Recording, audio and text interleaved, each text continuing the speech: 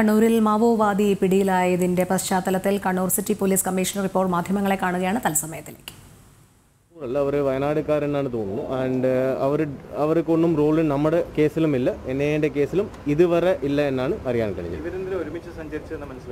മറ്റേ രണ്ട് മറ്റാൾ ഡ്രൈവറും ആൻഡ് ഡ്രൈവറിന്റെ ബന്ധുവും മറ്റേ രണ്ടാൾ ഇവർ കുറിയർ ആയിരിക്കുമെന്ന് പറയുന്നു. അപ്പോൾ എന്തെങ്കിലും ഒരു സാധനം വാങ്ങാനോ എടുത്തുകൊണ്ട് കൊണ്ടുപോകാനോ ആയിരിക്കുമെന്നാണ് നമ്മുടെ നിഗമനം. പക്ഷേ നമ്മുടെ അന്വേഷണത്തിന്റെ പരിധിയിൽപ്പെട്ട കാര്യങ്ങൾ അതല്ല. അത്രയേ കണ്ണൂരിൽ ഒരു മാവോവാദി പിടിയിലിതിന്റെ പശ്ചാത്തലത്തിൽ കണ്ണൂർ സിറ്റി പോലീസ് കമ്മീഷണർ മാധ്യമങ്ങളോട് സംസാരിക്കുകയായിരുന്നു. തത്സമയ ദൃശ്യങ്ങളാണ് പ്രേക്ഷകർ കണ്ടത്.